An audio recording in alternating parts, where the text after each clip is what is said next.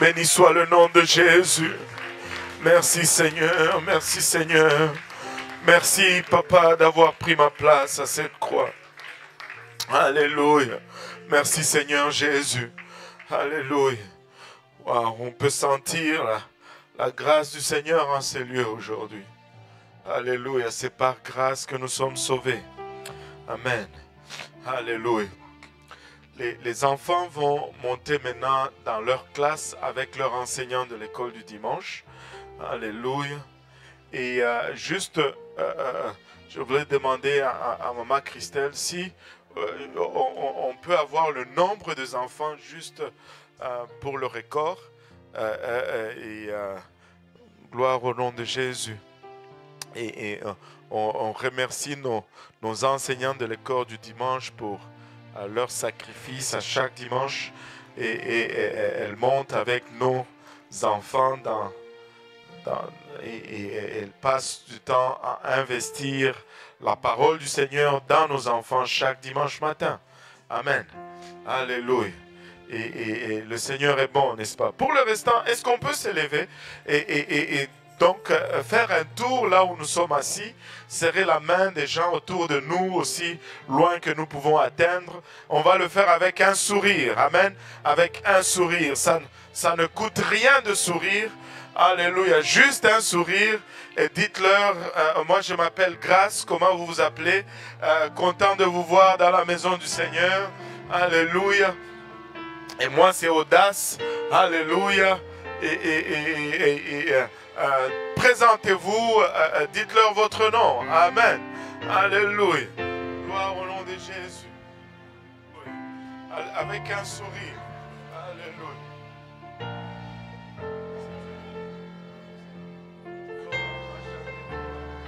Alléluia. Gloire au nom de Jésus. Alléluia. Alléluia. Le Seigneur est bon, n'est-ce pas? Alléluia. On va aller dans la parole du Seigneur encore une fois aujourd'hui. Et, si vous pouvez euh, euh, euh, vous lever, et, on, va juste lire, et après on va prier. Vous pouvez vous asseoir pour les prochaines deux heures pendant que moi je serai debout. Alléluia. Hein, il y en a qui ne l'ont pas caché. Hein, le message va durer, durer deux heures. Il fallait amener votre sandwich. Euh, on est habitué de toutes les façons. Amen. Alléluia. Et on va aller dans le livre de Matthieu encore une fois. On va faire la huitième partie de notre chemin de la bénédiction. Amen. Et, cette série, on la faisait aussi bien à Saint-Laurent qu'ici. À Saint-Laurent, on était deux leçons en avance. À un moment donné, on était même à trois leçons en avance. Mais aujourd'hui, en faisant la huitième leçon, on va être au même niveau que ceux de Saint-Laurent et, j'essaie encore de finir la dernière leçon, mais je n'ai pas d'opportunité parce qu'il y a souvent des visiteurs et, peut-être qu'on va même la finir ici avant Saint-Laurent, comme quoi les premiers seront les, derniers. Alléluia. Euh, et, c'est une série de neuf leçons. On va faire la huitième aujourd'hui, l'avant-dernière. Donc Matthieu chapitre 5, et on va lire du premier au 16e verset. Et euh, Alléluia. Bon, pour une raison, j'ai touché là où je ne devais pas toucher. Alléluia. Si vous l'avez trouvé, dites Amen. Et, euh, euh, si vous cherchez encore, dites J'arrive. Alléluia. Donc personne n'arrive plus. voyant la foule, Jésus monta sur la montagne et après qu'il se fut assis, ses disciples s'approchèrent de lui. Puis ayant ouvert la bouche, il les enseigna et dit, Heureux les pauvres en esprit, car le royaume des cieux est à eux. Heureux les affligés, car ils seront consolés. Heureux les débonnaires, car ils hériteront la terre. Heureux ceux qui ont faim et soif de la justice, car ils seront rassasiés. Heureux les miséricordieux, car ils obtiendront miséricorde. Heureux ceux qui ont le cœur pur, car ils verront Dieu. Heureux ceux qui procurent la paix, car ils seront appelés fils de Dieu. Heureux ceux qui sont persécutés pour la justice, car le royaume des cieux est à eux. Heureux serez-vous lorsqu'on vous outragera, qu'on vous persécutera et qu'on dira faussement de vous toutes sortes de mal à cause de moi. Réjouissez-vous et soyez dans l'allégresse parce que votre récompense sera grande dans le cieux. Car c'est ainsi qu'on a persécuté les prophètes qui ont été avant vous. Vous êtes le sel de la terre. Mais si le sel perd sa saveur, avec quoi la lui rendra-t-on? Il ne sert plus qu'à être jeté dehors et foulé aux pieds par les hommes. Vous êtes la lumière du monde. Une ville située sur une montagne ne peut être cachée. Et on n'allume pas une lampe pour la mettre sous le boisseau, mais on la met sur le chandelier et elle éclaire tous ceux qui sont dans la maison. Que votre lumière luise ainsi devant les hommes, afin qu'ils voient vos bonnes œuvres et qu'ils glorifient votre Père qui est dans les cieux. Prions tous ensemble. Seigneur Jésus, nous te sommes infiniment reconnaissants, Papa, euh, pour ta bonté, ta grâce, ta fidélité, ta patience vis-à-vis de nous, Seigneur. En ce moment, Papa, alors que nous venons pour entendre de ta part, Seigneur, nous réalisons ta présence qui est dans ces lieux, Seigneur, et nous réalisons également le prix qui a été payé, Seigneur, pour que nous puissions avoir accès à tout ceci, Seigneur. Alors que nous venons ici, nous réalisons également combien nous sommes des êtres naturels, des êtres charnels. Et cette parole, Papa, qui est esprit et folie pour nous, Seigneur, et de nous-mêmes, nous ne pouvons la, la, saisir, nous ne pouvons la comprendre. C'est pourquoi nous prions que tu nous aides aujourd'hui. Aide-nous, Papa, aide-moi afin que je puisse la donner sans crainte ni faveur, ni hésitation. Seigneur, aide-nous tous ensemble afin que nous puissions la recevoir, qu'elle puisse germer en nous, produire de fruits et que ce fruit nous conduise jusque dans la vie éternelle. Et c'est avec action de grâce dans le cœur que nous te prions ainsi dans le nom précieux de Jésus. Nous disons tous au nom de Jésus. Alléluia. Avant de nous asseoir, est-ce que nous pouvons juste encore une fois offrir juste une autre offrande de louange et d'adoration, Seigneur Jésus, Merci pour ta grâce, Seigneur. Merci pour le prix payé. Alléluia. Par ton sang, tu m'as lavé, Seigneur Jésus-Christ.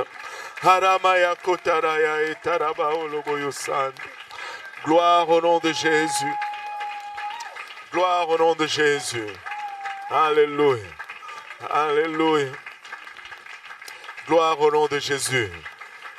Alléluia. Et vous pouvez vous asseoir. Alléluia. Et comme nous l'avions fait depuis sept leçons aujourd'hui, et aujourd'hui la huitième leçon va être pareille, nous allons parler un peu de notre désir d'être béni. Hein. Tout le monde souhaite être béni sur la terre. Même les gens les plus méchants désirent la bénédiction. Si je demandais qui veut être béni ici, tout le monde va lever la main. Mais autant de mains que nous allons voir lever, autant à, des concepts de bénédiction que nous allons avoir. nous avons tous une idée différente de ce qu'est une bénédiction. Et cela va dépendre souvent de notre état de santé, de notre état financier, de, de ce que nous traversons dans l'instant.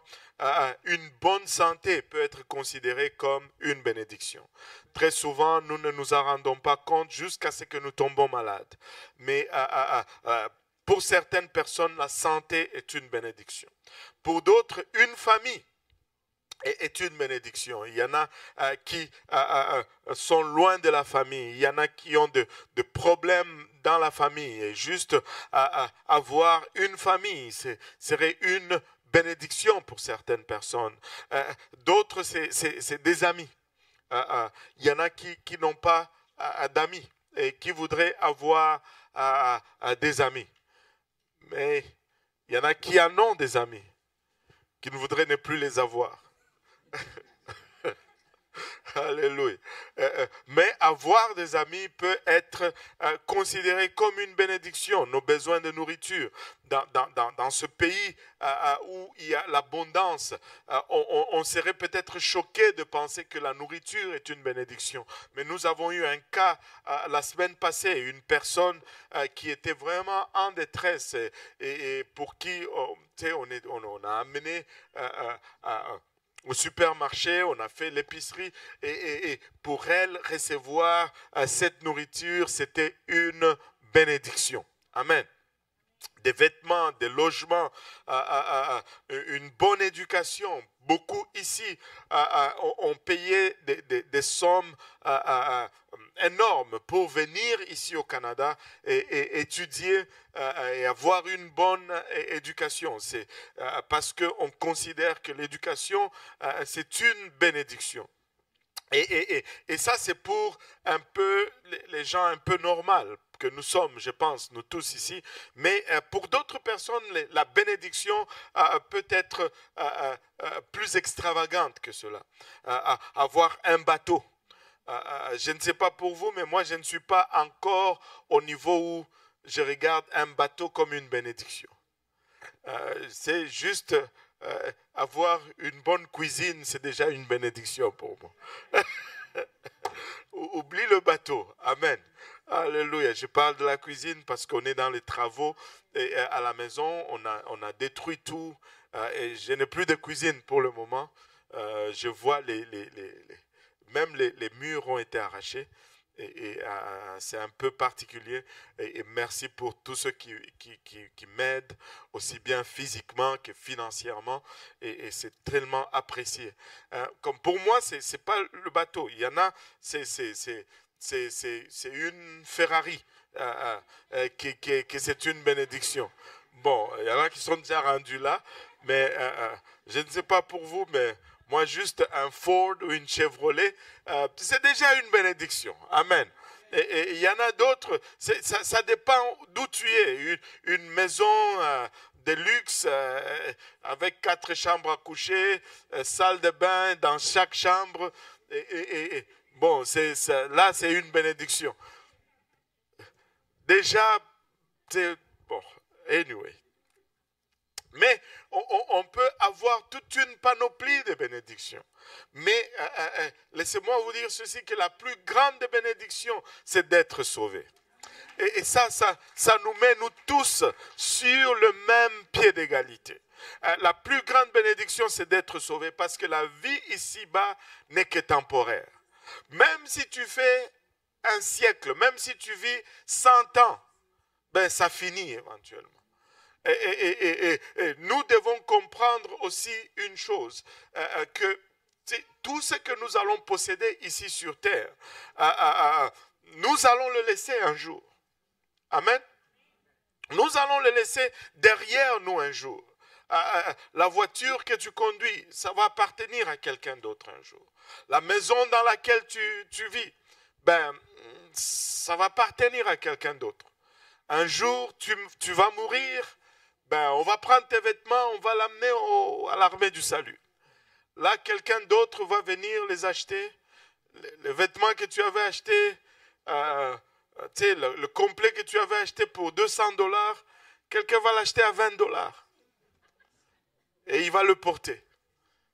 Même le vêtement que tu portes, quelqu'un d'autre va le porter.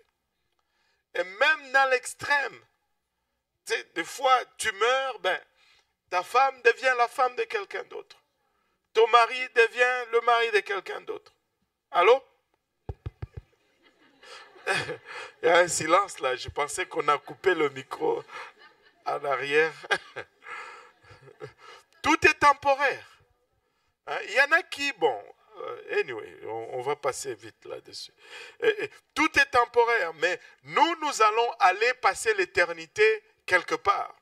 Ça va être soit dans la présence de Dieu, où nous allons être dans, dans la joie pour l'éternité, ou dans le tourment éternel auprès du diable. Et, donc, si on prend cela en considération, la plus grande des bénédictions euh, euh, de la vie, c'est d'avoir entendu l'évangile. Euh, d'avoir réalisé un jour qu'on était de pécheurs, alléluia, perdus et destinés à l'éternité en enfer. Mais à ce jour-là, on a entendu l'évangile. Et cet évangile nous a dit que Jésus est venu, alléluia, qu'il a payé le prix pour nos péchés, que nous ne sommes plus vraiment obligés d'aller en enfer si nous, si nous recevons son offre. Il est allé à la croix pour nous. Il a été crucifié. Il est mort pour nos péchés. Il a été en enseveli et le troisième jour, il est ressuscité. Et si nous entendons cela et que nous le croyons, nous obéissons à cela. Mais comment est-ce qu'on obéit à cela? On se répand de nos péchés pour nous identifier à sa mort. On se fait baptiser au nom de Jésus-Christ pour le pardon de nos péchés, pour nous identifier à sa résurrection. C'est pourquoi on doit se faire baptiser au nom de Jésus parce que on s'identifie à Jésus-Christ. Pour, la, pour, pour, oh, oh, pour, on se fait ensevelir, on se fait baptiser pour nous identifier à son ensevelissement. Et on reçoit le don du Saint-Esprit avec l'évidence de parler en langue pour nous identifier à sa résurrection. Et cela nous place sur le chemin, alléluia, de l'éternité au ciel avec, euh, lui. Et, et c'est ça, c'est la puissance de Dieu qui vient vivre en nous et qui nous permet de nous ressusciter ce jour-là et d'entrer dans son ciel et de passer le restant de notre éternité avec lui. Alléluia. Et ça, c'est la plus grande bénédiction parce que c'est la seule qui va au-delà de la tombe. C'est la seule qui ne s'arrête pas avec la mort. Et, et, nous avons tous des concepts de bénédiction. Mais lorsque nous regardons ce que le Seigneur Jésus a enseigné sur la bénédiction, nous voyons que, ben, ça ne va pas dans la même direction que nous. Hein. Son enseignement sur la bénédiction est, contraste avec la pensée humaine. Elle est en opposition avec l'idée des hommes. Et, dans le sermon sur la montagne, le Seigneur a commencé avec les béatitudes. Il a relié nos bénédictions à nos attitudes. C'est-à-dire, si nous avons une bonne attitude, nous allons être bénis. Ah, ah, mais ah, jusque-là, nous avons parlé des attitudes pour les sept premières leçons. Mais maintenant, Jésus va passer ici des attitudes aux, conséquences ou à ce qui va nous arriver lorsque nous décidons de le servir. Et, il va shifter, il parle plus des attitudes. Et, j'espère que nous avons vraiment corrigé nos attitudes. Savez-vous quoi? Nous sommes en contrôle de nos attitudes. Si tu te fâches, c'est toi qui décides de te fâcher. Allô? Si tu es content, c'est toi qui décides d'être content. Si tu décides de ne pas te laisser affecter par quelque chose, tu vas ne pas être affecté par quelque chose. Et, tu vas me dire, ah mais pasteur, tu ne sais pas, hein, il y a de ces insultes. Écoute, la même insulte, tu vas la donner à deux personnes. Une va être offensée pour l'éternité, l'autre, ça va couler comme de l'eau sur le dos d'un canard. Allô? Parce que les deux choisissent différemment. on donne trop de pouvoir aux gens. Tu sais, quand tu t'offenses, tu donnes le pouvoir à la personne. Tu peux dire ce que tu veux. Alléluia mais tu décides comment tu vas réagir. Allô? Alléluia. Tu peux juste dire non, je refuse. Et, tu peux, j'ai dit, tu peux donner deux insultes, enfin une insulte à deux personnes différentes. On peut même regarder cela à l'envers, si vous doutez. Deux personnes différentes peuvent t'insulter de la même façon et tu vas réagir différemment aux deux personnes. Allô? Parce que nous décidons. Oh boy. J'espère que vous êtes avec moi là. Alléluia. Et, donc, nous sommes en contrôle de notre attitude. Si je suis béni, c'est parce que j'ai décidé d'être béni. Si je ne suis pas béni, c'est parce que j'ai décidé de ne pas être béni, parce que ma bénédiction est reliée à mon attitude. Amen. Alléluia. Maintenant, le Seigneur passe de l'attitude à, plutôt aux conséquences, à ceux qui le servent vraiment dans ce monde vont subir des choses. Et, il, va leur arriver des choses. Donc, le verset 10 au verset 12, Matthieu 5, 10 euh, à 12. Aujourd'hui, on va voir les persécutés. Les persécutés. Le verset 10 nous dit, heureux ceux qui sont persécutés pour la justice Hein? Que tout le monde dise pour la justice. Hein? Pas que tu vas faire tes propres bêtises et tu as les conséquences de tes propres bêtises. Tu dis, oh, je suis persécuté. Non, ça, c'est pas la persécution. Allô? Et heureux ceux qui sont persécutés pour la justice, car le royaume des cieux est à eux. Heureux serez-vous lorsqu'on vous outragera, qu'on vous persécutera et qu'on dira faussement de vous toutes sortes de mal à cause de moi. Amen. Réjouissez-vous et soyez dans l'allégresse, parce que votre récompense sera grande dans les cieux, car c'est ainsi qu'on a persécuté les prophètes qui ont été avant vous. Waouh! Ça, c'est le concept de la bénédiction pour le Seigneur. Si vous êtes persécuté, réjouissez-vous. Au moins, j'ai trois amens jusque-là.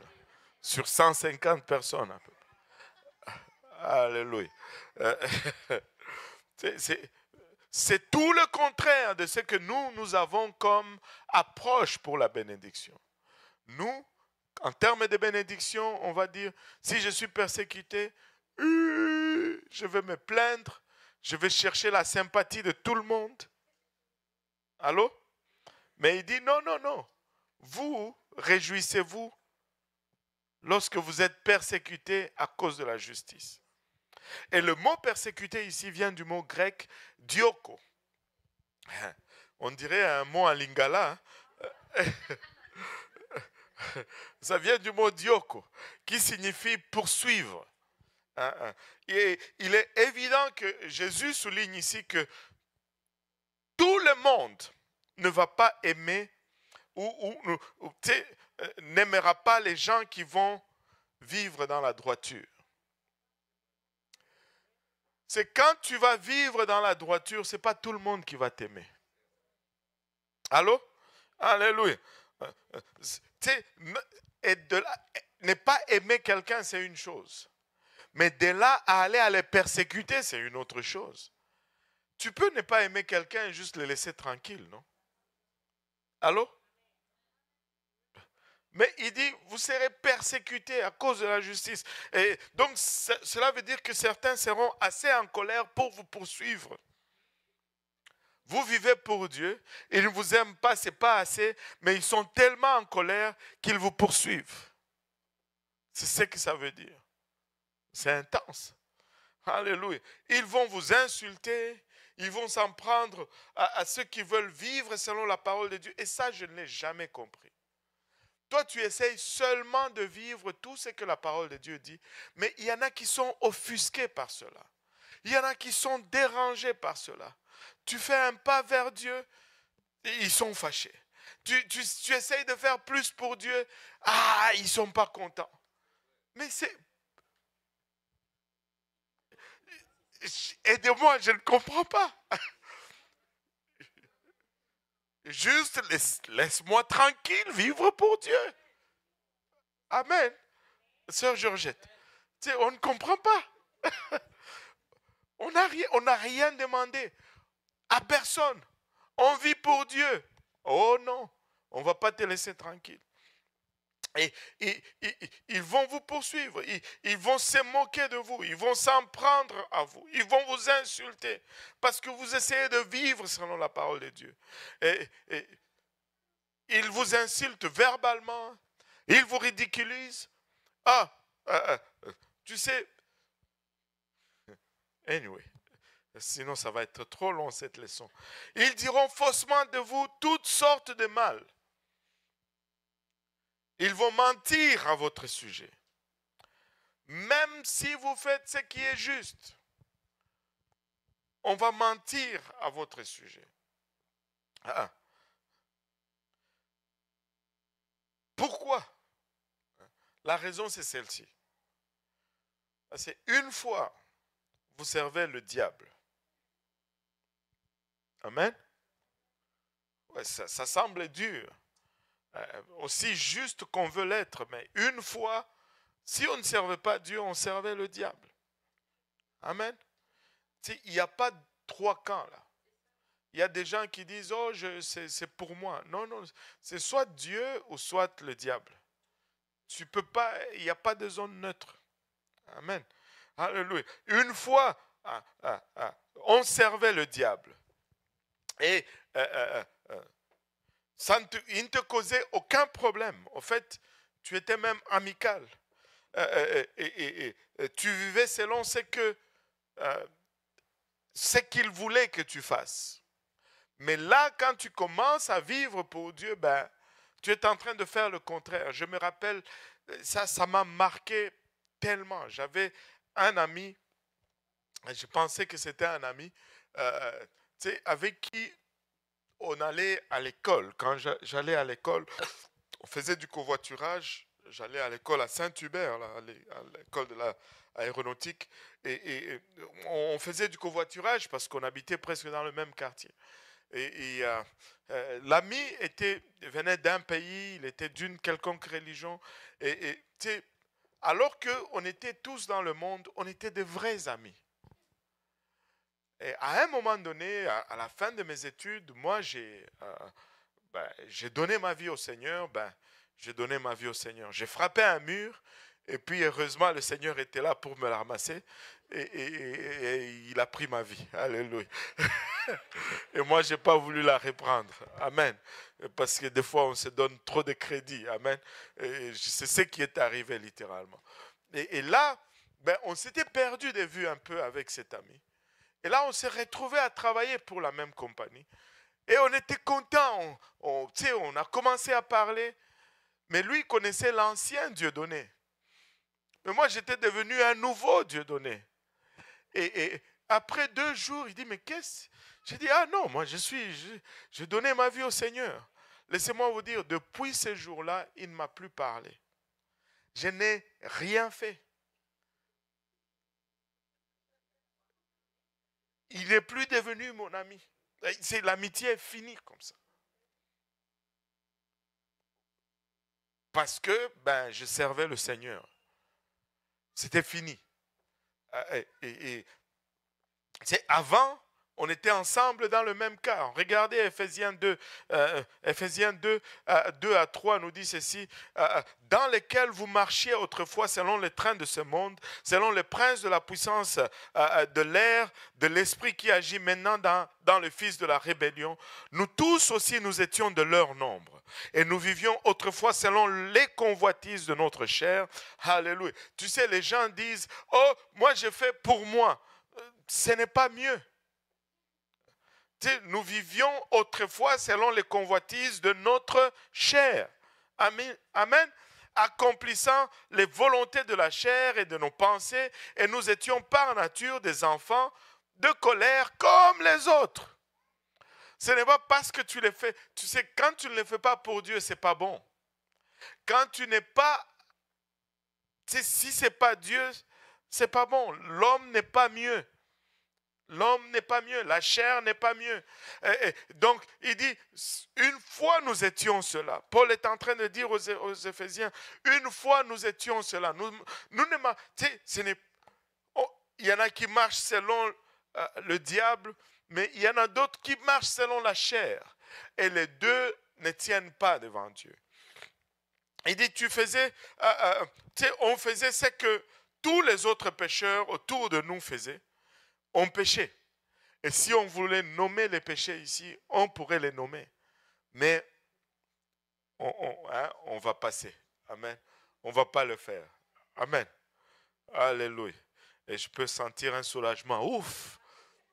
Alléluia. Merci Seigneur. Mais un jour, tu as entendu l'évangile. Un jour, tu as lu Romains 3, verset 23. Ah, Qu'est-ce nous dit Romains 3, verset 23 tu as réalisé très vite, alléluia, ce que tu euh, euh, étais. Euh, Romains 3, verset 23, je, ne l'ai pas dans mes notes, tu peux me le shooter. Tous sont péchés, car tous sont péchés et sont privés de la gloire de Dieu. Tout le monde fait pécher. Yo tout vir, vir do by bon Dieu qui gagne pour, pour. Pour, pouvoir, pouvoir, pouvoir a. Alléluia. car tous ont péché et sont privés de la gloire de Dieu. Ça ne dit pas certains ont péché ou ça ne dit pas les autres ont péché et moi, euh, euh, comme je n'ai pas cambriolé une banque, je suis correct. Non, ça ne dit pas que tous ont péché, mais, mais, moi, comme je n'ai jamais tué quelqu'un, euh, tu sais, on a ce concept de péché. On met des, des niveaux dans le péché. Regardez, péché, des fois, juste une mauvaise pensée, c'est péché. Euh, euh, juste des, mauvaises intentions, c'est péché. Et, péché, c'est péché. Un, mensonge. Des fois, des gens disent euh, c'est un mensonge blanc. Il n'y a pas de mensonge blanc. Tout, c'est. Un mensonge, c'est un mensonge. Tu traverses la frontière, tu reviens, tu as acheté pour 1200 dollars. Là, le douanier te demande, tu as acheté pour combien? Oh, 400 dollars.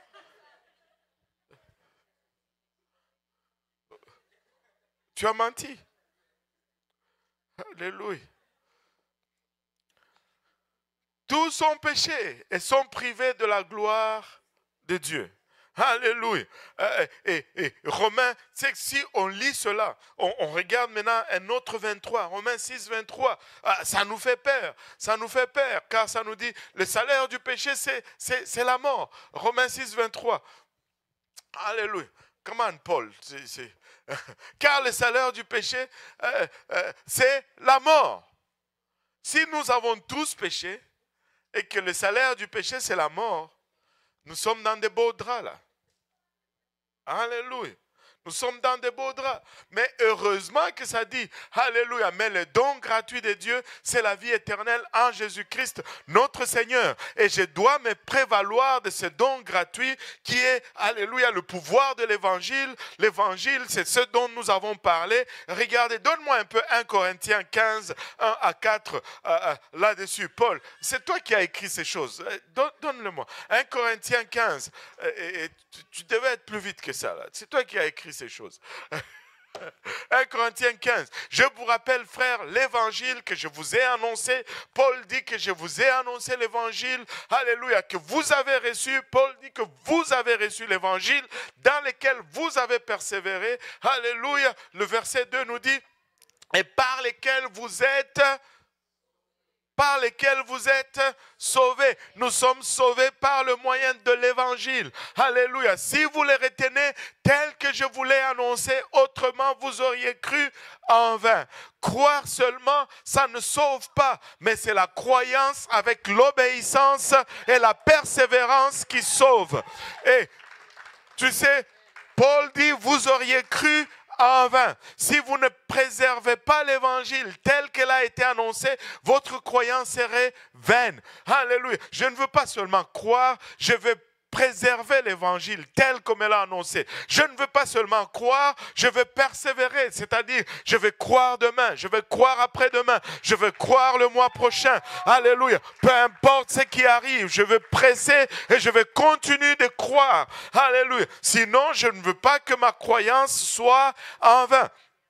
Maintenant, verset 3, euh, il nous dit, je vous ai enseigné avant tout, ô Seigneur Jésus-Christ, avant toute chose, c'est ça que je vous ai enseigné. Avant la prospérité, c'est ça que je vous ai enseigné. Avant la délivrance, c'est ça que je vous ai enseigné. Avant la bénédiction, c'est ça que je vous ai enseigné. Avant tout, l'évangile. Avant tout, l'évangile. Alléluia. Avant tout, l'évangile. Je vous ai enseigné avant tout comme je l'avais aussi reçu, que Christ est mort pour nos péchés selon les Écritures. Oh, ça c'est la nouvelle qui devait réjouir tout être. Oh Seigneur Jésus-Christ. Merci Seigneur Jésus. Alléluia. On peut ressentir la grâce ici. Ce n'est pas... Ce n'est pas quiconque qui est mort, c'est Christ qui est mort pour nos péchés. Christ est mort pour nos péchés.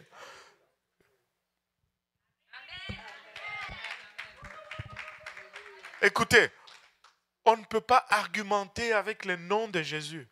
C'est lui qui est mort. C'est lui qui est mort pour nos péchés. Christ est mort pour nos péchés selon les Écritures. Au verset 4, Alléluia, qu'il a, il a été enseveli et qu'il est ressuscité le troisième jour selon les Écritures. C'est une bonne nouvelle. Alléluia, que Christ est mort pour nos péchés. Mais ce n'est pas une bonne nouvelle qu'il est mort tout simplement. C'est une bonne nouvelle qu'il est mort et qu'il a été enseveli pour nos péchés. Mais ce n'est pas une bonne nouvelle qu'il soit mort et enseveli et qu'il reste là. La bonne nouvelle, c'est qu'il est mort. Il a été enseveli et il est ressuscité le troisième jour. Les liens de la mort n'ont pu le retenir. S'il est ressuscité, il y a de l'espoir pour moi. S'il est ressuscité, je ressusciterai également avec lui. Et ça, c'est une bonne nouvelle. Et cette bonne nouvelle, alléluia, elle ne peut pas, elle ne peut pas être bonne si je n'y obéis pas. Elle ne peut pas être bonne. Tu sais quoi? Euh, euh, Laissez-moi vous dire ceci. Euh, Advil, c'est un bon médicament contre le maux de tête. Mais si je n'avale pas cela, ça fait zip pour moi. Allô? Allô? Alléluia. La chèvre, c'est une bonne nourriture pour ton corps. Amen. Mais, mais si tu n'avales pas cela, ça ne fait rien pour toi. Zéro. Alléluia. Ça peut être des très bons légumes, mais s'ils restent sur la table, ça ne fait rien pour ton corps. Il faut que tu les manges. Et c'est une bonne nouvelle. Alléluia. Si tu y obéis, tu te fais baptiser au nom de Jésus. Ouais, si, si c'est juste pour le contempler, ah oui, mais ça fait rien. Ce n'est pas une bonne nouvelle. Jusqu'à ce qu'on y obéisse, c'est là que ça devient une bonne nouvelle. Jusqu'à ce qu'on se répand, on se fait baptiser au nom de Jésus, et qu'on reçoit le Saint-Esprit, c'est là que ça devient une bonne nouvelle. C'est là que ça devient l'évangile. C'est là que ça devient Euangilio. Ce n'était pas Euangilio jusqu'à ce que ceux qui recevaient la nouvelle apportent des cadeaux et répondent à ceux qui amenaient la nouvelle de la victoire. Laissez-moi vous dire, Alléluia, je ne sais pas pour vous, mais je sens la grâce de Dieu en ces lieux. Je sens la présence de Dieu en ces lieux. Alléluia. Alléluia. Et, tu as entendu cela, tu as cru à l'évangile et tu as obéi, comme ceux qui ont obéi dans Acte 2. Alléluia. ça a été euh, euh, euh, Pierre a prêché, les gens ont, posé la question, ils se sont repentis de leurs péchés, ils ont été baptisés, et, ils ont reçu le don du Saint-Esprit. Et toi également, tu as, tu t'es repenti un jour de tes péchés. Tu as été baptisé au nom de Jésus, et, tu as reçu le don du Saint-Esprit, et ta vie a changé de direction. Et pour cela, tu es devenu une cible. Euh, euh, et si tu n'es pas encore repenti, tu peux te repentir aujourd'hui dans ce service. Si tu n'as pas encore été baptisé au nom de Jésus-Christ, ne sors pas de cette baptise sans être baptisé au nom de Jésus. Nous avons l'eau, nous avons des vêtements de réchange, nous avons des essuie-mains. Ça ne prend que ton obéissance. Euh, euh, l'eau est même chaude. Je vais juste vérifier un peu. Ouais, elle est chaude. Elle est en train de chauffer. Euh, l'eau est chaude même. L'eau est chaude mais Quel confort Tu ne peux pas arriver devant Dieu et dire, oh, moi j'étais au Canada, il faisait froid. Le jour qu'on a prêché l'évangile, Seigneur, il faisait moins 20 dehors et, je ne pouvais pas rentrer dans cette eau glacée. L'eau est chaude. L'eau est chaude. Parle, parle d'enlever des excuses. L'eau est chaude. Anyway, je veux retourner dans mes notes.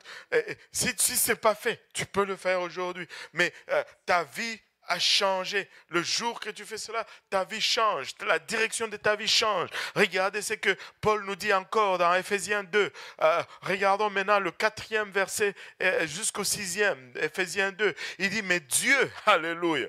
Tu sais, il a commencé à dire ceci dans Ephésiens 2, versets 2 et 3, il dit, dans lequel vous marchiez autrefois, selon les trains de ce monde, selon le prince de la puissance de l'air, euh, de l'esprit euh, qui agit maintenant dans les fils de la rébellion, nous tous aussi, nous étions de leur nombre, nous tous, et nous vivions autrefois selon les convoitises de notre chair, accomplissant les volontés de la chair et de nos pensées, et nous étions par nature des enfants de colère comme les autres. Alléluia. Et au verset 4, il dit, mais Dieu, Alléluia, ne n'est-ce pas, quelque chose d'extraordinaire. J'étais un fils de la rébellion, mais Dieu. Je marchais selon la convoitise de la chair, mais Dieu. Alléluia. J'avais de mauvaises pensées, mais Dieu. Alléluia. Mais Dieu qui est riche en miséricorde, à cause du grand amour dont il nous a aimés. Oh, maman à cause du grand amour dont il nous a aimés, nous qui étions morts par nos offenses, il nous a rendus à la vie avec Christ. C'est par la grâce que vous êtes sauvés. Il nous a ressuscités ensemble et nous a fait asseoir ensemble dans les lieux célestes en Jésus-Christ. Écoute, tu vois Jésus partout. Jésus partout, partout, partout. Alléluia, alléluia. Et, là, notre vie est changée. Notre vie est changée. Euh, les choses que nous faisions avant, nous ne sommes plus à l'aise avec ces choses. Tu sais, euh, euh, nous avions l'habitude de faire ces choses, mais là, ça commence à être un peu malaisant de faire les mêmes choses. Euh, et, c'est ça la différence quand tu es, tu es changé. Tu sais, avant, tu mentais, tu te réjouissais même du mensonge. Mais là, aujourd'hui, tu es devant le douanier. Bon, retourne à la douane quand tu as dit 400 dollars, là, tu te sens mal. c'est lourd. Tu reviens, tu fais un jeûne de trois jours. Laisse-moi te dire ceci. C'est mieux l'obéissance que le sacrifice. Hein. Dis seulement au douanier qu'est-ce que tu as fait au lieu de venir faire un jeûne de trois jours. Amen. Alléluia tu n'es plus à l'aise avec les mêmes choses. C'est des choses que tu faisais, ça, te faisait plaisir, mais là, ça te, dérange. Tu, n'es plus à l'aise. Tu, ne prends plus plaisir dans les mêmes choses. Euh, les choses qui te procuraient euh, euh, du plaisir auparavant, maintenant, te, rendent malheureux. Es comme, tu fumais, mais tu mets la cigarette, c'est comme, yak, ce n'est plus la même chose. Pourquoi? Parce que tu es devenu un enfant de Dieu. Tu sais, tu allais au, bar avant, mais et, là, c'est comme, tu, tu, tu même passer sur Sainte-Catherine commence à te répugner. Tu, tu, tu, tu, ne prends même plus les mêmes rues. Je ne sais pas pour vous. Je suis vraiment transparent avec vous. Certaines rues, je prenais avant, c'était comme tu prenais, ah, tu regardes à gauche, à droite. Mais là, tu ne veux plus même passer sur ces mêmes rues. Tu changes même des rues. Alléluia. Et c'est parce que Dieu t'a changé. Dieu t'a changé. Alléluia. Euh, tu es devenu un enfant de Dieu. Tu as revêtu l'uniforme de l'armée de Jésus-Christ. Tu n'as plus, alléluia, le même uniforme. Maintenant, tu remets, tu as revêtu la justice. Tu rentres euh, chez, chez, chez, Maxi, euh, tu, tu, achètes du sucre pour 5 dollars, tu donnes un billet de 20 dollars, on te remet 45 dollars, tu ne pars pas. Avant, tu partais et tu disais, oh, c'est une bénédiction. Mais là, ce n'est plus pareil. Tu ne pars plus. Tu, retournes à la caissière, tu dis, je, me suis trompé parce que tu ne prends plus plaisir dans les mêmes choses. Dieu t'a changé. Alléluia. Mais parce que Dieu t'a changé, tu es devenu maintenant la cible de l'ennemi. Tu ne fais plus partie. Pourquoi tu as quitté l'équipe?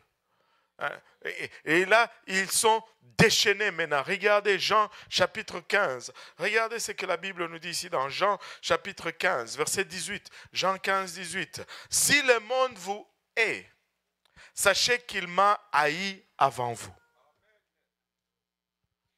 Donc, ne soyez pas surpris. Oh, vous êtes rejetés. Ne soyez pas étonnés. Lui-même, on l'a haï avant nous.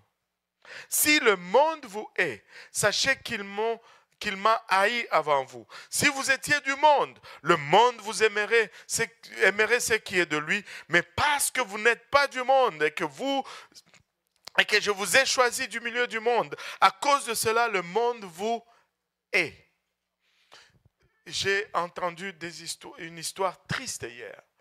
Une petite fille à l'église de, de Saint-Laurent, 7 ans, à l'école primaire, deuxième primaire. Mais elle est tellement en amour avec son Jésus. qu'elle parle de son Jésus à l'école. Mais la maîtresse la sermonne. La maîtresse la, la, la grande. La maîtresse lui interdit, lui dit, tu peux... Et, ok, si on interdisait à tout le monde, ok, ça serait correct. Mais la maîtresse lui dit littéralement ceci. Tu peux parler des autres religions, mais pas des chrétiens. Ça, c'est choquant. Nous ne sommes plus de ce monde. Nous ne sommes pas de ce monde. Ce monde ne va pas nous aimer. Ne, vous, ne pensez pas que ça va devenir mieux. Ça va juste aller de pire en pire en pire jusqu'à ce que Dieu vienne et qu'il dise c'est assez et il nous enlève d'ici. Il y a un de nos anciens qui a dit ceci une fois. Il dit qu'il pense qu'il a, qu'il sait maintenant, euh, euh, qu'il a trouvé le cri que l'ange va crier, euh, parce que la Bible nous dit au cri de l'archange, hein, au son de la trompette, et lui, il croit que l'ange va crier assez. Parce que ça va être vraiment trop parce qu'on est en train d'aller vers là, euh, littéralement. Euh, euh, c'est attristant, mais nous, ne sommes plus de l'heure. Et, ils vont nous haïr. Vous, vous êtes-vous déjà demandé pourquoi à notre époque on s'en prend autant au juste? Au fait, si tu es juste,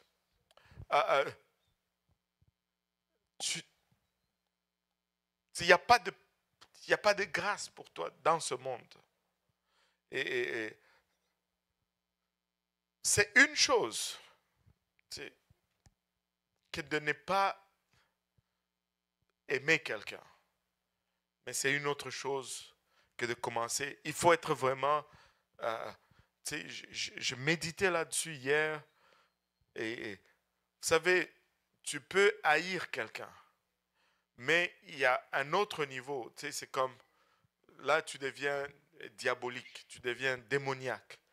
Ça, c'est là tu commences à poursuivre et à persécuter. Euh, c'est au-delà de la haine. C'est démoniaque. Et, vous savez, et, un photographe qui a refusé de faire un mariage euh, pour un couple gay a été tellement persécuté que son affaire a fermé. Euh, euh, une pâtissière qui a refusé de faire un gâteau pour un couple gay a été traduite en justice euh, et, accusée de, de, de, je ne sais pas trop quoi. Et, tu sais, un journaliste qui a entendu parler d'une pizzeria dans laquelle les employés priaient tous les matins est sorti et est allé essayer de dénoncer cela parce que il ne voulait pas que euh, euh, ça, ça, dérangeait. C'est fou. Euh, ok, aujourd'hui, ils ont passé de loi, je ne sais plus c'est combien, qui interdit la conversion, la thérapie de conversion qu'ils appellent. Avez-vous entendu cela? Ok, c'est une chose de passer une loi. Mais c'est une autre chose. Dernièrement, il y a à peine un mois, on a reçu des lettres d'avertissement parce qu'il y avait des journalistes qui se déguisaient en gays, qui se faisaient passer pour des homosexuels et qui allaient délibérément dans l'église pour demander délivrance. Et quand on priait pour eux, euh, ils euh, filmaient tout cela et ils sortaient et ils allaient porter. Écoutez, il faut détester quelqu'un à un niveau pour aller jusqu'à ce point-là. Tu lui dis de ne pas faire, ok, je suis chez moi. Mais tu viens pour me provoquer. Il faut être à un autre niveau de méchanceté. Laissez-moi vous dire. Il ne nous aime pas et ça, ça, me dépasse. Ça me dépasse. Et, et, et il trouve ça normal moi, je pourrais dire que quand quelqu'un se, se, promène pas de vêtements sur la route, tu sais qu'on on peut te donner un ticket? Euh, on dit attentat à la pudeur. Mais parce que tu tentes les gens. Mais eux, ils peuvent venir tenter les apostoliques. Moi, je peux dire aussi attentat à la délivrance. Parce que j'étais chez moi, je ne suis pas allé chercher cette personne. Ils viennent pour te tenter et pour que tu fasses et qu'on t'accuse. Mais c'est tellement malhonnête, c'est au-delà de la méchanceté. Je, on est, anyway, je dois rester dans ma leçon, sinon je vais avoir des problèmes avec la justice. Alléluia. et regardez ceci. Euh, euh, euh, ces, histoires illustrent, au moins le point de vue du Seigneur Jésus-Christ sur les gens qui haïssent, ceux qui désirent vivre selon la parole de Dieu.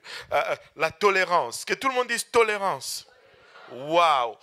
ça, c'est le mot le plus escroc que je trouve dans, notre société aujourd'hui. on peut être tolérant pour tout le monde, sauf les chrétiens. Tous, on peut être tolérant. Mais laissez-moi vous dire, la tolérance, ça doit marcher dans les deux sens. Si c'est dans une seule direction, ce n'est pas la tolérance. Et, la tolérance, c'est une tombe cruelle par rapport à la vérité. Écoutez, la vérité est plus importante que la tolérance. Allô? Parce que la tolérance ne change la vie de personne, mais la vérité transforme ta vie. Amen. Alléluia. Et, la tolérance, on, peut croire qu'elle ne fonctionne que dans, dans, une seule direction. Et, laissez-moi vous dire ceci, et laissez-moi être clair avec ceci. Nous ne détestons personne. Allô? Vous êtes d'accord avec moi? Sinon, je dois faire des études sur l'amour de Dieu. Amen. Nous ne détestons personne. Nous ne détestons pas les homosexuels, nous ne détestons pas les voleurs, nous ne détestons pas les, les, adultères, nous ne détestons pas les, les politiciens, oh, je vais dire les voleurs. Euh, cependant, cependant, nous n'allons jamais approuver ce que Dieu déclare être un péché. Écoutez, si les gens disent des fois, oh ben, Oh, je vais avoir des problèmes, ça c'est sûr. Et, moi, ce n'est pas grave. Le Seigneur a dit qu'on allait avoir des problèmes. Tu sais, quand quelqu'un naît avec un problème, que ce soit physique ou mental, on essaye de le guérir, n'est-ce pas? Même, j'ai vu des, des, des, enfants qui étaient nés avec des jambes comme ça. On a payé des médecins, on a et, on a fait des opérations pour que les jambes soient droits. Pourquoi est-ce que certains problèmes, on ne doit pas les corriger? On doit juste dire, ben, on est né comme ça. Et d'autres, là, on doit corriger. Je ne sais pas, mais dans ma tête, ça ne marche pas. Et, nous n'allons jamais accepter ce que Dieu appelle péché.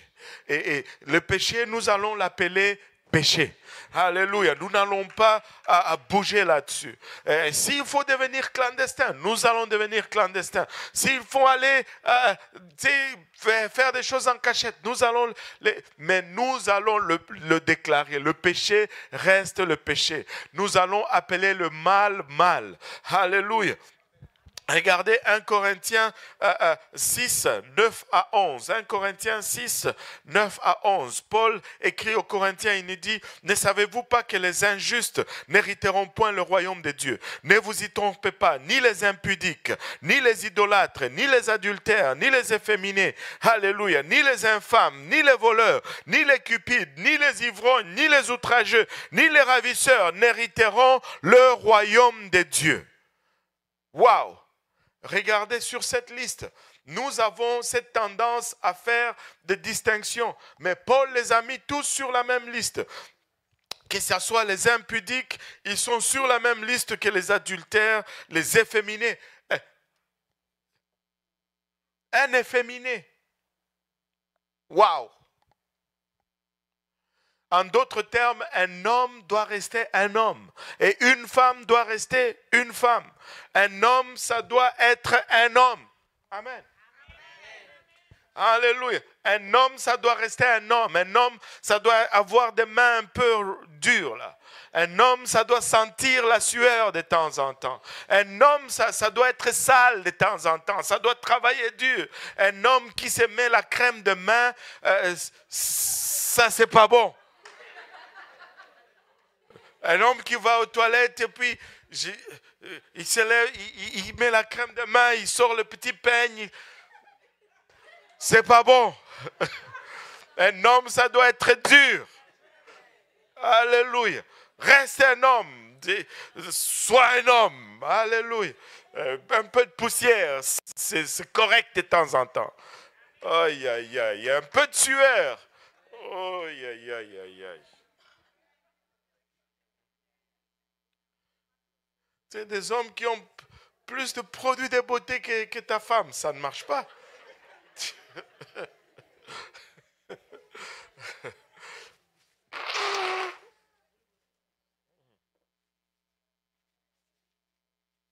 Je, je, ne raconte pas des histoires. J'étais choqué ce jour-là.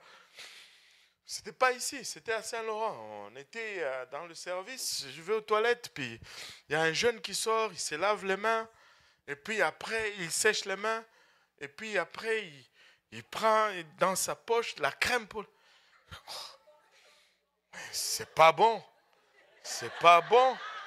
C'est pas bon ça. Oh boy. Qui va creuser le trou en arrière de la maison? C'est toi? Mais non, ça marche pas. Il faut que tu aies des ampoules dans les mains de temps en temps, un homme. La graisse de l'auto un peu. Euh, reste un homme. Et une femme, ça doit rester une femme. Hein? Tu, es une femme, tu soulèves la table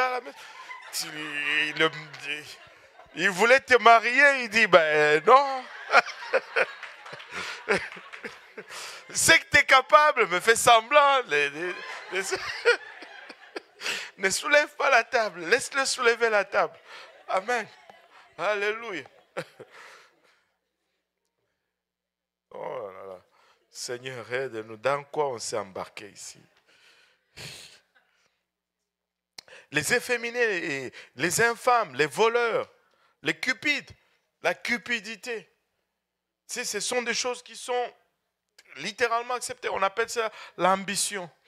De vouloir toujours plus, plus, plus. C'est la cupidité. C'est la cupidité. Euh, euh, les, ivrognes. Oh, maman Nangaï. On pourrait rester là longtemps. Longtemps. Longtemps. Mais la parole de Dieu est claire là-dessus. Les outrageux, les ravisseurs n'hériteront pas le royaume de Dieu. Et, regardez ce que Paul dit. Et c'est là ce que vous étiez quelques-uns de vous.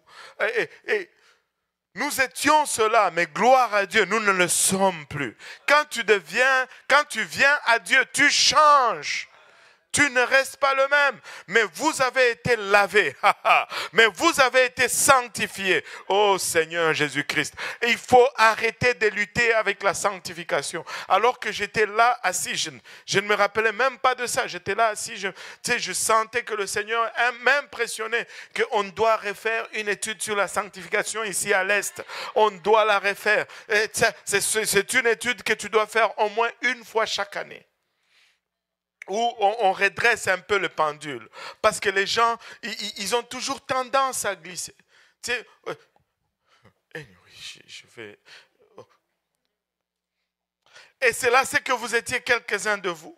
Mais vous avez été lavés, vous avez été sanctifiés, mais vous avez été, et mais vous avez été justifiés au nom du Seigneur Jésus-Christ et par l'Esprit de notre Dieu. Marc 13, 13. Regardez Marc 13, 13. Marc 13, 13 nous dit ceci. Ah, le temps passe vite ici à l'Est. Marc 13, 13 nous dit, vous serez haïs de tous à cause de mon nom, mais celui qui persévérera jusqu'à la fin sera sauvé. Vous serez haïs de tous à cause de mon nom, pas à cause des décisions stupides que tu as faites, non, non, à cause de mon nom. Hein, des fois, c'est à cause du nom de Jésus-Christ. Si tu es haï à cause de cela, ah, mais si c'est lui qui persévérera jusqu'à la fin, sera sauvé. Écoute, en face de l'adversité, nous allons presser vers l'avant. Peu importe ce qu'on dit, nous allons presser de l'avant. Nous allons vivre cette vie. Nous avons choisi de ce style de vie et nous allons aller jusqu'au bout. Amen. Alléluia. regardez l'église primitive. Étienne prêchait l'évangile de Jésus-Christ à un groupe de chefs religieux. Ça, c'est, ça, n'a pas commencé aujourd'hui. Euh, Acte chapitre 7. Acte chapitre 7, 57 à 60. Il a prêché l'évangile. Il a commencé depuis Abraham pour que euh, on ne dise pas que oh, d'où est-ce que ça vient. Il a commencé depuis Abraham. Il est, allé, il, les a amenés jusqu'à Jésus-Christ. Mais regardez leur réaction. Euh, euh, après qu'il ait prêché l'évangile, ils poussèrent alors, verset 57, Acte 7, 57 à 60. Ils poussèrent alors des grands cris en se bouchant les oreilles Waouh La parole de Dieu les dérangeait seulement tellement qu'ils ne voulaient pas entendre. Et, tu sais, même quand tu bouches les oreilles, tu entends quand même. Et là, pour ne pas entendre, ils ont bouché les oreilles en poussant des cris. Ah! Comme ça, ils n'entendent pas la parole de Dieu. C'est extrême. Des fois, nous, nous lisons ces choses, mais nous ne réalisons pas l'implication de toutes ces choses. C'est pas mal extrême. C'est pas mal extrême. Euh, euh, ils, bouchant les oreilles et ils se précipitèrent tous ensemble sur lui, les traînèrent hors de la ville et le lapidèrent. Les témoins déposèrent leurs vêtements aux pieds d'un jeune homme nommé euh, Saul. Où était la police en ce temps-là? On ne sait pas. Il, il lapidait Étienne qui priait et disait Seigneur Jésus, reçois mon esprit. Oh, tu sais, Jésus, c'est Dieu manifesté dans la chair. Vous savez, dans ce passage, dans, la, certaines versions, euh, comme la Louis II que j'ai, ils ont enlevé un mot. Euh, ça dit littéralement, dans l'original grec, ça dit littéralement, ils lapidèrent, euh, ils lapidaient Étienne qui priait à Dieu et disait, qui priait à Dieu et disait, Seigneur Jésus, reçois mon esprit. Quand Étienne priait à Dieu, il l'appelait Seigneur Jésus. Parce qu'il priait à Jésus. Amen. Jésus, c'est Dieu manifesté dans la chair. Puis s'étant mis à genoux, il s'écria d'une voix forte, Seigneur, ne leur impute pas ce péché. Et après ces paroles, il s'endormit ils haïssaient tellement Étienne. Ah, ah, et, la seule raison qu'ils ont haï Étienne, c'est parce qu'il prêchait la parole de Dieu et, il prêchait le nom de Jésus-Christ. C'est tout. Il, n'avait fait aucun autre crime. Il prêchait Jésus. Euh, euh, regardez, Jacques, frère des gens, euh, acte 12, 1 à 3. vers le même temps, le roi Hérode se mit à maltraiter quelques membres de l'Église et il fit mourir par l'épée Jacques, frère des gens, parce qu'il prêchait l'évangile. Et voyant que cela était agréable aux Juifs, on a tué Jacques, le frère de Jean, mais au lieu que ça attriste les religieux, ça les a rendus joyeux. Voyant que cela était agréable aux Juifs, il fit encore arrêter Pierre, c'était pendant le jour pains, pain sans levain. Et l'apôtre Paul lui-même, euh, euh, euh, regardons l'apôtre Paul lui-même, il dit ceci dans, le, dans 2 Corinthiens, 2 Corinthiens chapitre 11, versets 23 à 25. regardez ce que Paul est en train de dire aux Corinthiens. Sont-ils ministres de Christ? Je parle un homme qui extravague. Il dit, je veux parler un peu selon la chair ici. Euh, je le suis plus encore par les travaux, bien plus, par les coups, bien plus. Il dit, j'ai reçu plus de coups que tous ces gens-là, par les, emprisonnements. Il a été emprisonné à cause de la parole de Dieu, bien plus. Euh, souvent en danger de mort. Euh, cinq fois, j'ai reçu des juifs, 40 coups moins un. Il a été euh, flagellé cinq fois, 39 coups de fouet. Tu sais, la, la flagellation que le Seigneur Jésus-Christ a reçue avant d'être crucifié, ben, Paul il a été flagellé cinq fois comme ça. Il y a beaucoup dans l'histoire de Paul qui n'est pas dans la Bible. Mais avant qu'il ne commence à prêcher, après sa conversion, il a subi des atrocités comme pas possible. Il a été à, torturé et, les gens pensaient qu'il était devenu fou et par la torture qu'on allait le ramener à la raison. Mais laissez-moi vous dire, si Jésus se saisit de toi réellement et que tu te saisisses de lui, rien ne t'arrête. Rien ne t'arrête. Il dit trois fois, j'ai été battu de verge. Une fois, j'ai été lapidé. Euh, euh, trois fois, j'ai fait naufrage. J'ai passé un jour et une nuit dans l'abîme. Euh, Paul a été lapidé. Tu, sais, on te met là dehors et les gens viennent avec des tas de pierres et ils te lancent des pierres. Et il a été laissé pour mort. et, plusieurs théologiens croient qu'il était mort et que c'est Dieu qui l'a ressuscité. Et de ces lapidations, il a eu une infirmité qu'il a gardée toute sa vie et il a prié pour que Dieu le guérisse de cette infirmité. Mais Dieu a dit, ma grâce te suffit.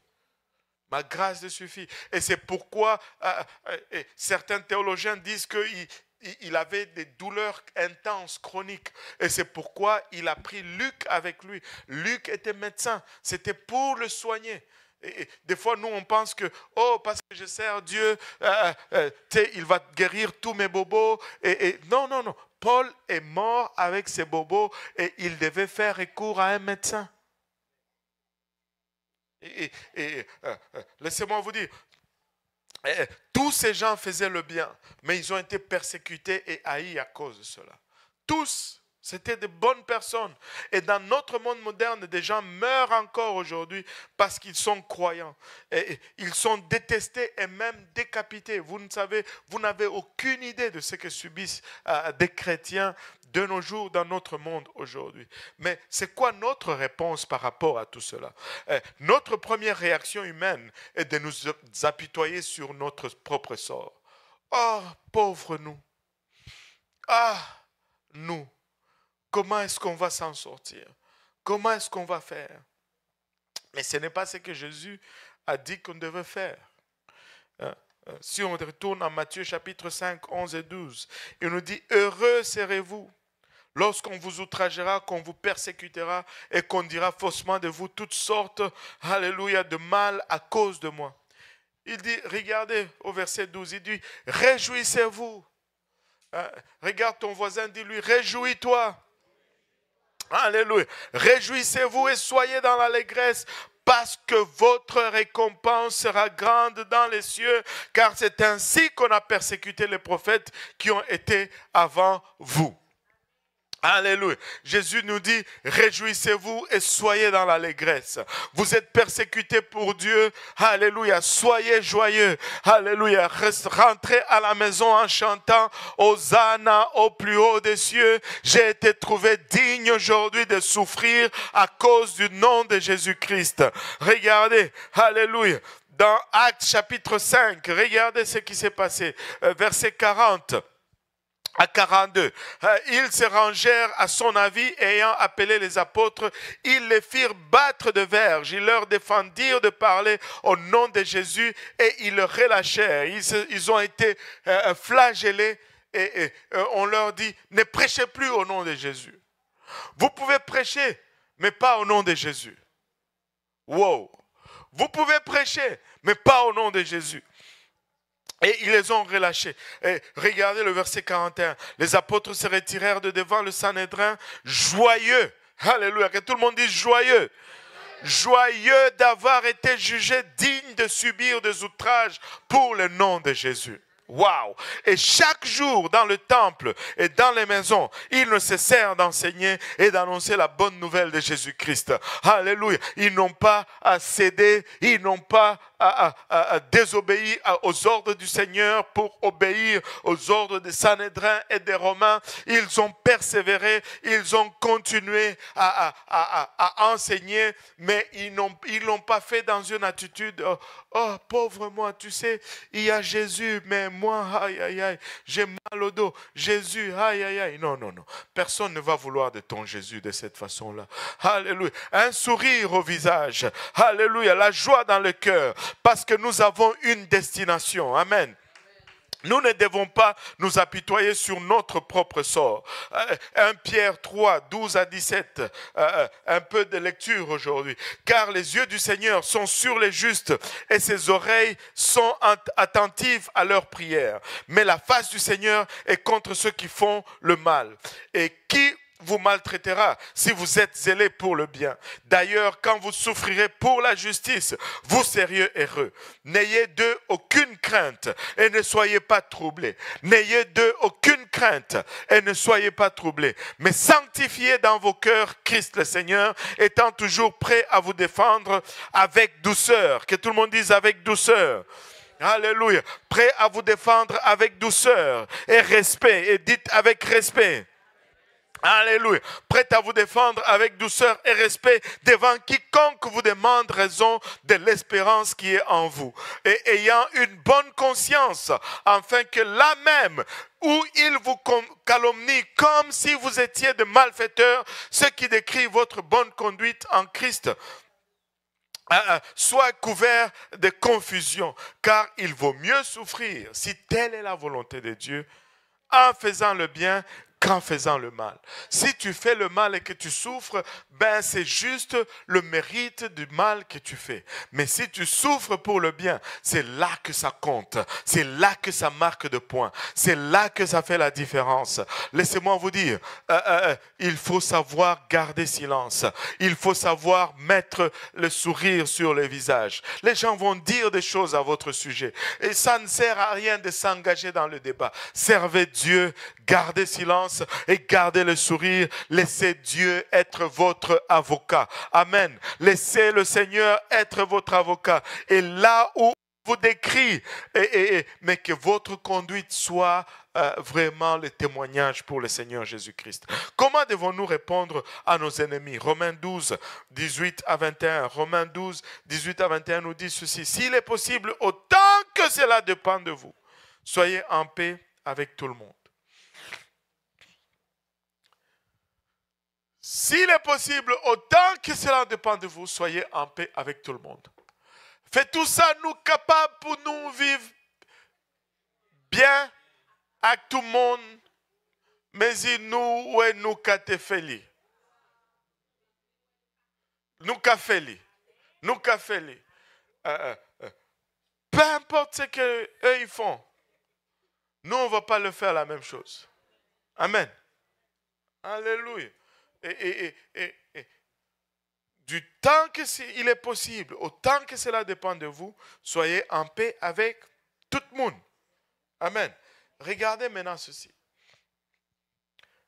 Ne vous vengez point vous-même. Oh boy. Qu'on règle ça, qu'on aime ça régler nos comptes, n'est-ce pas? Tu m'as fait ça, attends, je vais te montrer. Oh, moi, je n'ai pas froid aux yeux. Non, non, non. On ne t'a pas demandé, ne te venge pas, c'est tout. Ce n'est pas question d'avoir froid aux yeux ou non. Alléluia. Ne vous vengez point vous-même, bien-aimés. Hein? Mais laissez agir la colère. Laissez faire la colère. Amen. Car il est écrit, à moi la vengeance, et ça, à moi la vengeance, c'est pas toi, à moi la rétribution, dit le Seigneur. Amen. Pas toi, le Seigneur. Oh Seigneur Jésus. mais si ton ennemi a faim, donne-lui à manger. Waouh! Et toi, tu es fâché avec ta sœur. Tu persécutes ta sœur. Et le Seigneur dit, si ton ennemi a faim, donne-lui à manger. Il a soif, donne-lui à boire. Car en agissant ainsi, ce sont des charbons ardents que tu amasseras sur ta tête, sur sa tête. Et, et regarde, j'ai eu toute une nouvelle révélation de ce verset. Il y a des gens qui vont le faire avec espoir que hein, hein, si tu fais ça, le charbon ardent va être sur sa tête et il va brûler. C'est pas ça, ça c'est la vengeance. Tu es en train de te venger quand même. Ce n'est pas ce que ce verset veut dire. Les, char, les charbons ardents sur la tête dans le concept où ça a été écrit, ce sont des bénédictions. Ce n'est pas que sa tête brûle. Toi, tu as brûlé la tête des gens déjà. On va faire une étude là-dessus. Alléluia. Ne te laisse pas vaincre par le mal. Si c'est vraiment le charbon ardent sur la tête, c'était brûler la tête de quelqu'un, tu es vaincu par le mal. Il ne peut pas dire ça et puis dire ne te laisse pas vaincre par le mal. Allô? Amen. Ne te laisse pas vaincre par le mal, mais surmonte le mal comment? Par le bien. Fais le bien. Oui, ce n'est pas facile, je suis d'accord avec toi. Arrête de le répéter dans ton cœur. Je suis d'accord, mais fais-le. Fais le bien. Euh, fais-toi violence et fais le bien. Réponds, Alléluia, euh, le mal avec le bien. Et tu seras béni. Alléluia. Tu es béni. Laisse-moi te dire, tu es béni. regardez, euh, euh, euh, on va le relire encore. Matthieu 5, 10. Heureux ceux qui sont persécutés pour la justice, car le royaume des cieux est à eux. Heureux serez-vous lorsqu'on vous outragera, qu'on vous persécutera et qu'on dira faussement de vous toutes sortes de mal, car à cause de moi, réjouissez-vous et soyez dans l'allégresse, parce que votre récompense sera grande dans les cieux, car c'est ainsi qu'on a persécuté les prophètes qui ont été avant vous. Nous sommes bénis. Je ne sais pas pour vous, mais je suis béni. Oui, ça va mal, mais je suis béni. Oui, je suis fatigué, mais je suis béni. Oui, il y a des problèmes à gauche et à droite. Je suis béni. Oui, il y a des mécompréhensions ici et là. Je suis béni. Je suis béni parce que grande est notre récompense dans le ciel. Jean 14, verset 1 à 3 nous dit que votre cœur ne se trouble point. Croyez en Dieu et croyez en moi. Il y a plusieurs demeures dans la maison de mon Père. Si cela n'était pas, je vous l'aurais dit, je vais vous préparer une place. Et lorsque je m'en serai allé et que je vous aurai préparé une place, je reviendrai. Je reviendrai. Jésus revient. Il revient bientôt. Je reviendrai. Je vous prendrai avec moi afin que là où je suis, vous y soyez aussi. Jésus revient bientôt. Il revient pour nous chercher. Laissez-moi vous dire, nous devons être prêts. L'opposition est un bon signe de foi. L'opposition Alléluia, est juste un signe que nous sommes sur la bonne route. Nous sommes sur le bon chemin. Alléluia. Nous ne cherchons pas à contrarier ou à hériter les gens. Nous n'allons pas juste être contrariants pour avoir de l'opposition et dire que nous sommes sur la bonne voie. Non, c'est pas là. Alléluia. Montrer de l'amour. Alléluia. Montrer l'amour de Christ. Alléluia. Mais nous ne devons pas vivre correctement si notre vie euh, euh, euh, juste suscite une réponse. Nous n'allons pas arrêter de vivre de façon juste parce que les gens sont contrariés. Non. Mais nous allons vivre dans la droiture. Euh, certains vont nous ridiculiser, certains vont nous persécuter, mais nous allons continuer à vivre pour Jésus-Christ. Alléluia. Nous sommes bénis. Vivre pour Jésus, c'est une bénédiction. Et même si nous recevons de l'opposition, nous sommes bénis quand même. Nous sommes bénis quand même. Nous avons une récompense. Écoutez, ce n'est pas facile. il y a plein de choses. Dans le monde, plein de choses. Dans l'église, plein de choses. Tu des situations ici et là. Des fois, tu es juste fatigué. Mais nous sommes bénis. Nous sommes bénis. Nous devons persévérer. Nous devons juste nous secouer de là où nous sommes. Les, gens vont te, des fois les gens vont dire des choses sur toi, tu n'as tu te dis mais d'où est-ce que ça vient? Mais nous sommes bénis. Nous sommes bénis. Eh, eh, nous avons une récompense au ciel. Ah, on va s'élever tous ensemble.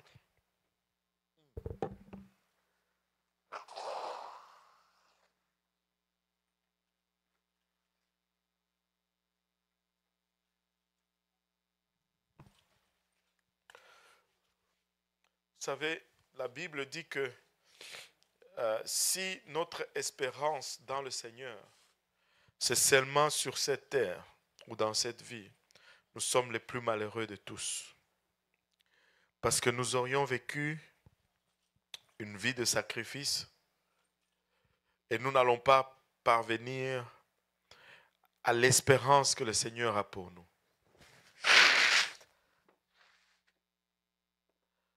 Euh,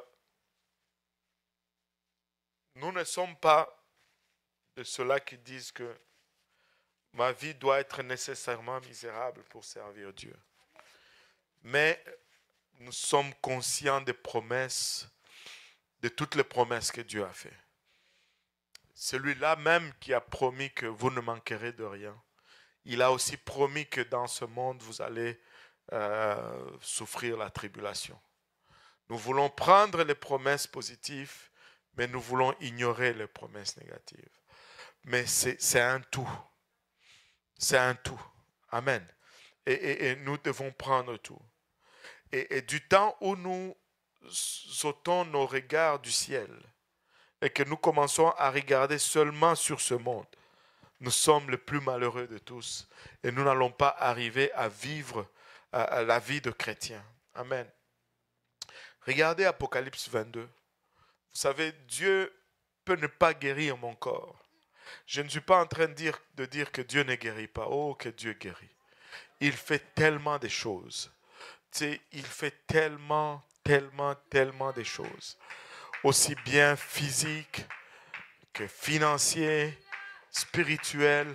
Euh, euh, si on ouvrait cette salle pour les témoignages, on aurait une multitude de témoignages ici. Mais laissez-moi vous dire ceci. Ce n'est pas là notre seule espérance en Dieu. Dieu a beaucoup mieux pour toi aujourd'hui. Regardez ceci, Apocalypse 22, du 1er au 5e verset. Et il me montra un fleuve d'eau de la vie, limpide comme du cristal, qui sortait du trône de Dieu et de l'agneau. Au milieu de la place de la ville et sur les deux bords du fleuve, il y avait un arbre de vie produisant douze fois de fruits, rendant son fruit chaque mois, et dont les feuilles servaient à la guérison des nations.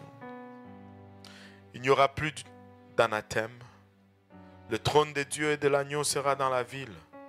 Ses serviteurs les serviront et verront sa face. Nous pourrons finalement voir sa face. Tu sais, il a dit à Moïse, tu ne peux pas voir ma face et vivre. Mais là, il dit, ses serviteurs le serviront et pourront voir sa face. Et son nom sera sur leur front. Il n'y aura plus de nuit. Et ils n'auront besoin ni de lampe, ni de lumière, parce que le Seigneur Dieu les éclairera, les éclairera et ils régneront au siècle de siècles. C'est là notre espérance. C'est pourquoi nous endurons des choses que nous endurons. C'est pourquoi nous allons accepter des choses que euh, on est. C'est normalement on allait regarder et dire oh non comment est-ce que tu peux accepter une telle offense? Parce que nous avons cette espérance. Nous sommes en route vers une destination où alléluia il n'y a ni soleil ni lune, mais tout est clair et il n'y a pas d'ombre parce que la lumière émane de partout. Eh, eh, je peux vous dire ceci, ça c'est juste moi, et permettez-moi juste de, me lâcher un peu. Je me suis lâché aujourd'hui, je, je continue. Moi je crois qu'en ce jour-là, quand on sera au ciel, même si tu regarderais en dessous de ton pied, il n'y aura pas d'ombre. Parce qu'il n'y aura pas une seule zone ombragée. Vous savez pourquoi il y a de l'ombre? Parce qu'il y a une seule source de lumière. Mais la source de lumière sera lui-même. Et il est omniprésent. C'est pourquoi il n'y aura pas d'ombre nulle part. Alléluia. On sera enveloppé de lui de partout. Il n'y aura pas de ténèbres. Tu vois, quand il fait noir, euh, euh, on ne sait pas qu'est-ce qu'il y a là parce qu'on ne peut pas voir. Tu peux avoir les yeux, mais tu as besoin de la lumière pour voir. Euh, il sera notre lumière. Plus d'Hydro-Québec, alléluia. Euh, parce que la lumière de l'agneau va éclairer partout. plus de douleur. Personne ne va plus pleurer. Personne ne va plus avoir mal. Personne ne va plus souffrir. Mais c'est à cela que nous aspirons. C'est en regardant cela que nous pouvons dire, nous pouvons déclarer forfait pour certaines choses ici sur terre. Parce que nous voulons y parvenir. Est-ce qu'il y en a qui veulent y parvenir aujourd'hui? Alléluia. Si vous voulez y parvenir, je vais vous inviter à venir à l'avant, les hommes à ma gauche, les dames à ma droite. Alléluia. Nous allons juste parler au Seigneur pour un moment. Nous allons nous réconsacrer.